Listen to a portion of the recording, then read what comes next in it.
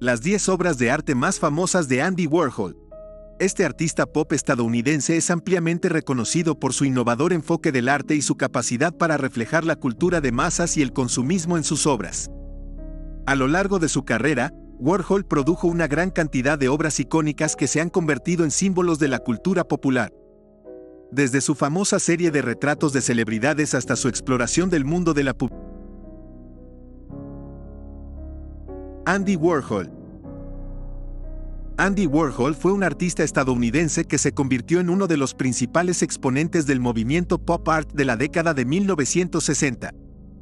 Nacido en Pittsburgh, Pensilvania en 1928, Warhol creció en una familia inmigrante eslovaca de clase trabajadora.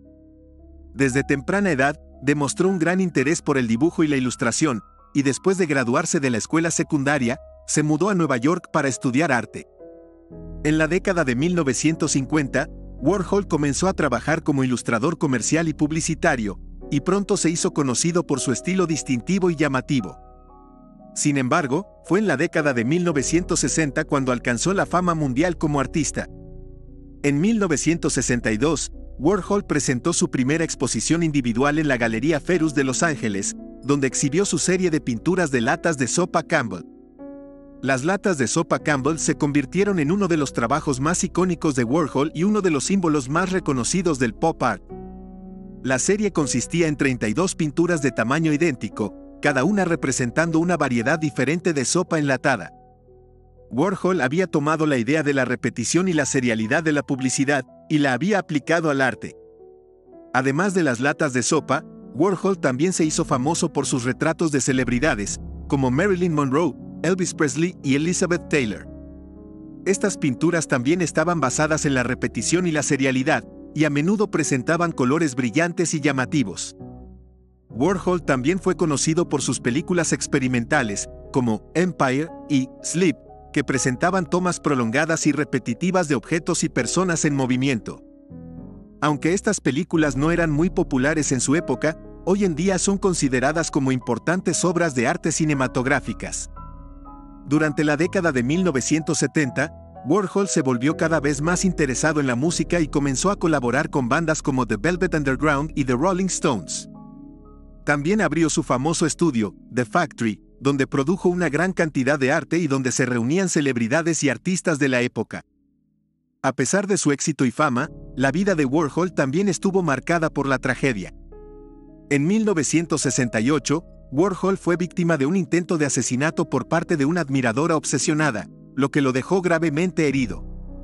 Además, muchos de sus amigos cercanos y colaboradores murieron prematuramente debido a la epidemia del SIDA en la década de 1980. Warhol falleció en 1987 debido a complicaciones después de una cirugía de vesícula biliar. A pesar de su muerte, su legado como uno de los artistas más influyentes e innovadores del siglo XX continúa hasta el día de hoy. Sus obras siguen siendo exhibidas en museos y galerías de todo el mundo, y su influencia se puede ver en la cultura popular y en el arte contemporáneo. Coca-Cola La obra de arte Coca-Cola, creada por el artista estadounidense Andy Warhol en 1962, es una pieza emblemática del movimiento artístico conocido como el pop art. La obra consiste en una serigrafía de la famosa botella de vidrio de Coca-Cola, en la que se han reproducido varias veces las palabras Coca-Cola en letras blancas sobre un fondo rojo. Warhol es conocido por haber utilizado objetos cotidianos de la cultura popular estadounidense como temas de su arte, y la botella de Coca-Cola es un ejemplo perfecto de ello. La obra de arte Coca-Cola es una crítica a la cultura de masas y la publicidad, y a la obsesión de la sociedad estadounidense con el consumo y la marca. En la década de 1960, la Coca-Cola era uno de los símbolos más reconocidos y populares de la cultura estadounidense, y Warhol utilizó esta botella como símbolo de la homogeneización de la cultura y el consumismo masivo. La obra de arte de Warhol se ha convertido en un icono cultural y se ha reproducido en numerosas ocasiones, tanto en la forma original como en variaciones que utilizan diferentes colores y diseños. La técnica utilizada por Warhol en la obra de arte Coca-Cola es la serigrafía, una técnica de impresión que consiste en transferir tinta a través de una malla tensada sobre un marco. Warhol se interesó en esta técnica porque le permitía producir imágenes repetitivas con rapidez y en grandes cantidades, lo que le permitió crear obras de arte de manera más eficiente. La obra de arte Coca-Cola también es interesante desde el punto de vista de la historia del arte, ya que desafió las convenciones de la época. La obra de Warhol es un ejemplo del arte que desafía los límites de lo que se considera arte y cuestiona las nociones tradicionales de belleza y estética. La obra de arte Coca-Cola es una crítica a la cultura de masas y la publicidad, pero también es una celebración de la belleza de los objetos cotidianos. En resumen, la obra de arte Coca-Cola de Andy Warhol es un ejemplo icónico del movimiento pop art y una crítica a la cultura de masas y el consumismo en la sociedad estadounidense. La técnica de serigrafía utilizada por Warhol permitió producir imágenes repetitivas con rapidez y en grandes cantidades, lo que lo convirtió en un innovador en el mundo del arte. La obra de arte Coca-Cola desafió las convenciones de la época y cuestionó las nociones tradicionales de belleza y estética.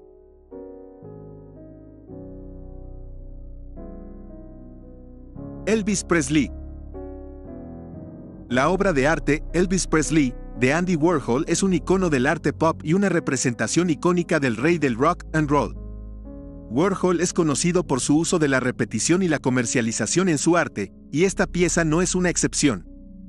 La imagen de Elvis Presley que Warhol utilizó en esta obra es una de las muchas fotografías que se tomaron del famoso cantante y actor durante su carrera. Warhol la transformó en una serigrafía en la que se muestra a Elvis en tonos brillantes de rosa y azul. Warhol utilizó esta técnica de serigrafía para producir muchas de sus obras de arte más conocidas, y la utilizó para crear una imagen fuerte y reconocible de Elvis. La obra de arte de Warhol fue creada en 1963, en un momento en que Elvis estaba en la cima de su carrera y la cultura popular estaba comenzando a florecer en todo el mundo. La imagen de Elvis que Warhol utilizó en su obra es una de las más icónicas de la época y sigue siendo una imagen reconocible en la actualidad. La obra de arte de Warhol es una crítica y una celebración de la cultura pop y el consumismo. La repetición de la imagen de Elvis en la obra de arte es una crítica de la forma en que los íconos populares son explotados y comercializados para generar ganancias. Pero también es una celebración de la popularidad de Elvis y su impacto en la cultura popular. La obra de arte de Warhol ha sido objeto de muchas interpretaciones a lo largo de los años. Para algunos, representa la transición de Elvis de una estrella del rock rebelde a un ícono del establishment. Para otros, representa la cultura pop y la obsesión con las celebridades. Y para otros, es simplemente una imagen hermosa y atractiva que ha resistido el paso del tiempo. Independientemente de su interpretación, la obra de arte de Warhol sigue siendo una representación icónica de Elvis Presley y de la cultura pop en general. Su uso de la repetición y la comercialización ha influido en la cultura visual de todo el mundo y ha dejado una marca duradera en la historia del arte.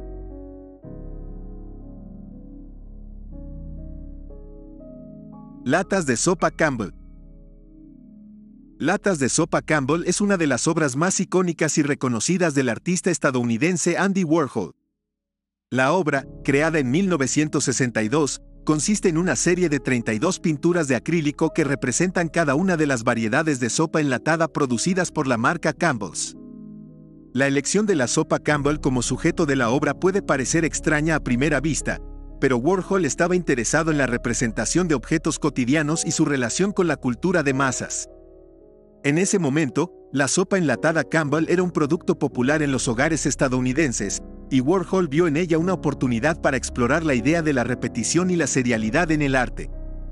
Las pinturas de las latas de sopa son todas del mismo tamaño y están dispuestas en filas, evocando una sensación de producción en masa y uniformidad. Cada lata de sopa está representada en un fondo blanco, sin adornos ni detalles, lo que resalta la simplicidad del diseño de la marca. La elección de utilizar pintura acrílica en lugar de óleo, y el estilo de pintura, que es liso y sin pinceladas visibles, contribuye a crear una apariencia uniforme y mecánica en la obra. Warhol estaba interesado en la idea de la reproductibilidad, y esto se refleja en la forma en que creó las pinturas. Utilizó un proceso de serigrafía que permitía la reproducción rápida y fácil de imágenes para crear las plantillas de las latas de sopa.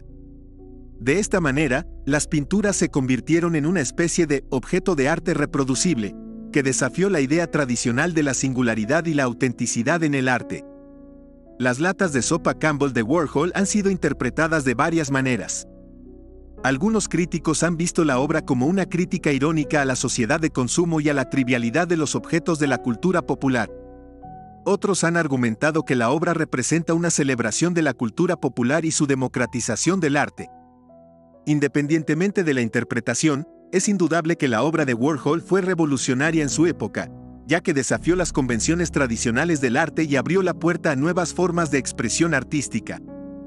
Hoy en día, las latas de sopa Campbell de Warhol son una de las obras más famosas e icónicas del arte moderno y se pueden encontrar en colecciones de arte en todo el mundo. La obra ha sido objeto de innumerables exposiciones, discusiones y análisis críticos, lo que demuestra su impacto duradero en la historia del arte. Además, ha inspirado a muchos otros artistas a explorar temas similares en su propio trabajo, lo que lo convierte en un ejemplo destacado del poder de la innovación artística.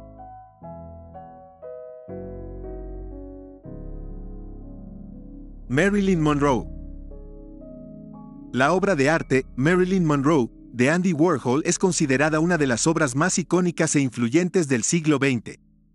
Warhol, un artista pop estadounidense, creó esta serie de retratos de la actriz Marilyn Monroe en 1962, poco después de su trágica muerte.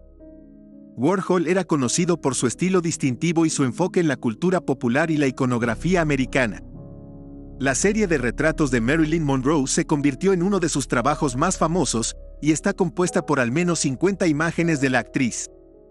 Cada una de estas imágenes es casi idéntica, pero tiene pequeñas variaciones en el color y en la saturación, lo que le da a la obra una sensación de repetición y variación simultáneamente. Los retratos de Warhol de Marilyn Monroe fueron creados utilizando la técnica de serigrafía, una técnica de impresión que utiliza una plantilla para aplicar tinta a una superficie. Warhol eligió esta técnica para crear su obra porque le permitió producir múltiples copias de la misma imagen con un aspecto uniforme. El uso de la técnica de serigrafía también le permitió a Warhol producir las imágenes a gran escala, lo que aumentó su impacto visual. La elección de Marilyn Monroe como sujeto para esta serie de retratos también es significativa. Marilyn Monroe era una figura icónica de la cultura pop estadounidense, conocida por su belleza y su carrera en Hollywood. Su vida personal también fue objeto de atención de los medios, lo que la convirtió en una figura pública muy influyente en la época. La elección de Warhol de retratar a Marilyn Monroe como un icono de la cultura popular en lugar de como una figura histórica o política fue innovadora y controversial. La obra de arte, Marilyn Monroe, de Andy Warhol ha sido interpretada de muchas maneras diferentes por los críticos y los espectadores. Algunos la ven como una crítica a la sociedad estadounidense y la obsesión con la fama y la imagen pública. Otros la ven como una celebración de la belleza y la fama. La serie de retratos también ha sido interpretada como una reflexión sobre la mortalidad y la fragilidad de la vida humana. Independientemente de la interpretación, la obra de arte de Warhol ha dejado una marca indeleble en la cultura popular y ha influido en muchos artistas posteriores. La imagen de Marilyn Monroe en la obra de Warhol ha sido utilizada en innumerables productos y publicidades, y ha llegado a simbolizar la cultura pop estadounidense en su conjunto. En resumen, la obra de arte Marilyn Monroe de Andy Warhol es una pieza icónica de la cultura pop y una obra maestra del arte moderno. Su técnica distintiva, su elección de sujeto y su impacto en la cultura popular la han convertido en una de las obras de arte más importantes e influyentes del siglo XX.